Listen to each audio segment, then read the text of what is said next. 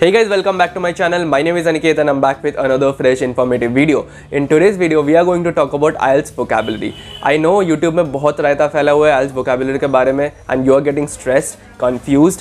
तो मैं आज वीडियो में पूरा IELTS vocabulary clear करूँगा. Let me tell you, you don't need to go through those lists जो बाकी YouTubers दे रहे हैं like 250 words, 300 words का vocabulary का list, complex words and they are telling you to use them, right? मुझे पता है आप लोगों को impossible सा feel हो रहा है कि मैं इतना words कैसे remember करूँ. I know I have been through your journey. मैं भी आयल्स दिया हूँ।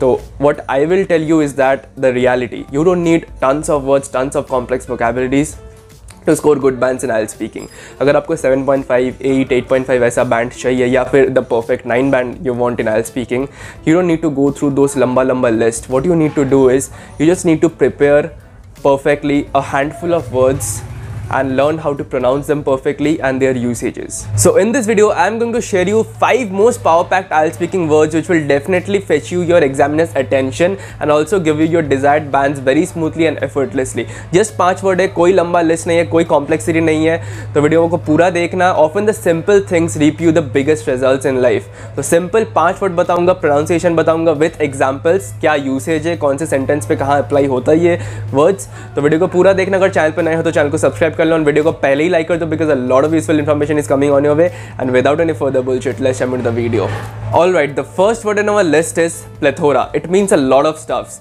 many stuffs, and it is pronounced as plethora, plethora, plethora. ठीक है? And how can you use it? The first sentence मैं एग्जाम्पल्स के साथ बताऊँगा. I have a plethora of choices after plus two it basically means after class twelfth you have plenty of choices you have plenty of career option for yourself available for yourself तो जहाँ पे many option many choices many का बात आएगा then you can use plethora the second sentence is I have read plethora of books I have a plethora of hobbies that restaurant I went last night has a plethora of cuisines तो ऐसे scenarios पे आप plethora को use कर सकते हो। It's a very generic word but very power packed word आप किसी भी सिनेरियो में मेनी के बदले प्लेथोरा को यूज़ कर सकते हो। The second power packed word in our list is mesmerize जिन लोगों को मीनिंग पता है तो then it's well and good but जिन लोगों को नहीं पता है it means struck or charmed by your beauty or something, something like that. You're charmed by your beauty, you're charmed, charmed by seeing something, you're awestruck, you're shocked. तो इसका replacement है mesmerize it's a very power packed word it's pronounced as mesmerize mesmerize mesmerized in past tense mesmerizing continuous tense mesmerize mesmerizing mesmerized. And how can you actually use it? My sentence bata deta hu i was mesmerized by your voice. I was mesmerized seeing ronaldo play live. That place was mesmerizing. You're you're awestruck by the beauty of that particular place. You're awestruck by the beauty of nature. So you can use mesmerize instead of beautiful. It's a very power-packed, attention-fetching word and it will definitely boost your speaking module, speaking score and give you your desired band. The third power-packed word in our list is encapsulate. It means to summarize or to conclude. Encapsulate. It is pronounced as encapsulate. Encapsulate. Encapsulated in past tense, encapsulating, continuous tense and encapsulate. So how to use it? It was difficult to encapsulate the entire story in a paragraph मैं meaning समझा देता हूँ हिंदी में। Like there is a long story and आपको बहुत दिक्कत हो रहा है उसको समराइज़ करने में एक पैराग्राफ में। तो it what it was difficult to encapsulate the entire story in a particular small paragraph और इन अ पैराग्राफ ठीक है?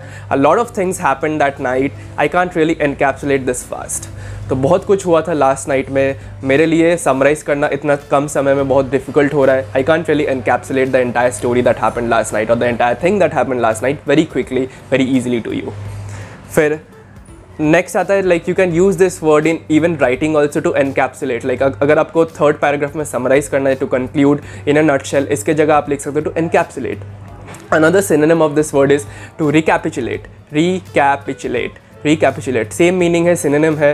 टू कंक्लूड और टू समराइज समथिंग तो this this is a very power packed word सुनने में भी बहुत अच्छा लगता है। डेफिनेटली स्पीकिंग में यूज़ करना। टू समराइज समथिंग और टू कंक्लूड योर ओपिनियंस और your perspective moving on the next word in our list which is very common and generic but yet students fail to use this particular word in exam situation because obviously stress रहता है, वो लोग भूल जाते हैं। And इसीलिए आपके पास एक एडेड एडवांटेज है if you can use this word in front of your examiner, this will definitely draw his or her attention towards your speech and it will boost your score. The word is dilemma, obviously सुने होंगे but फिर भी मैं एक बार meaning को explain कर देता हूँ. डिलेमा इज़ अ सिचुएशन जहाँ पे आपके पास दो चॉइसेस है. Tough choice unpleasant choice and you are unable to make a decision कि कौन सा चॉइस आपको लेना है. ठीक है you are stuck you are confuse and that is where this word dilemma comes confusion के बदले आप डिलेमा को यूज़ करो it's a catchy word and it obviously boosts your speaking boost boosts boost your speaking score तो इसको याद रखना use करना एडेड एडवांटेज है स्टूडेंट्स यूज़ नहीं करते हैं though they they know this word but they fail to use it so you have to remember and you have to use it to fetch the attention and boost your score इसका usage मैं एक sentence में बता देता हूँ. I was in dilemma last night it was a tough choice and hence I was in dilemma ऐसे आप word को यूज़ कर सकते हो. The final word in our list is humongous ये भी सुने होंगे जेनरिक वर्ड है but it's very catchy and it's a power packed word which will boost your score it's use for anything like huge enormous gigantic बहुत बड़ा कुछ enormous size को describe करने के लिए ह्यूमंगस वर्ड का यूज़ होता है। It's pronounced as humongous humongous humongous and its usage is it was an humongous humongous statue. Want want like S R K because of his humongous fan following तो ऐसे करके आप humongous word को use कर सकते हो। All of this words जो मैंने बताया है, बहुत पावर पैक्ड वर्ड्स हैं। As I said I want to give you as a reminder कि आप टन्स ऑफ़ वर्ड्स को रिमेंबर मत करिए। It will make you confuse and stress आप रिमेंबर तो कर लोगे बट एग्ज़ाम सिचुएशन में इतना स्ट्रेस रहता है। You new to that environment आप पब्लिक स्पीकर तो हो नहीं। फ़र्स्ट टाइम आयल्स दे रहे हो तो उस टेंशन के मारे आपको वर्ड्स रिमेंबर नहीं रहेगा एंड यूसेज तो और भी रिमेंबर नहीं रहेगा। तो just focus on handful of words and ये जो मैंने वर्ड्स बताया these are the most effective oil speaking words which will definitely give you your eight eight point five band very easily effortlessly attention draw करो impression दो examiner को अपने बारे में एंड ही और she will boost your score that's the mantra तो बस पाँच वर्ड बताया power packed words and this was all about oil speaking vocabulary just learn to pronounce them learn their usages मैंने सेंटेंसेस के साथ समझा दिया है and I hope this is very clear to you how to use them how to pronounce them and how to guess situation जहाँ पे आप इस वर्ड को पुट कर सकते हो। All right so that was about today's video I hope this is very clear to you how to use this words usage बहुत wide है जेनरिक वर्ड्स मैंने बताया and these were very power packed words तो use करिए boost your score and next video मेरा IELTS writing के बारे में आने वाला है. Writing vocabulary for task one and task two तो चैनल को सब्सक्राइब कर लो वीडियो को लाइक कर दो because that gives me the motivation and that makes me feel कि येस आप पढ़ रहे हो, आप सीख रहे हो and I provide more videos about these topics subscribe कर दो वीडियो को लाइक कर दो. मिलते हैं नेक्स्ट वीडियो में. Till then stay awesome stay sexy Sanikesh signing off for the day bye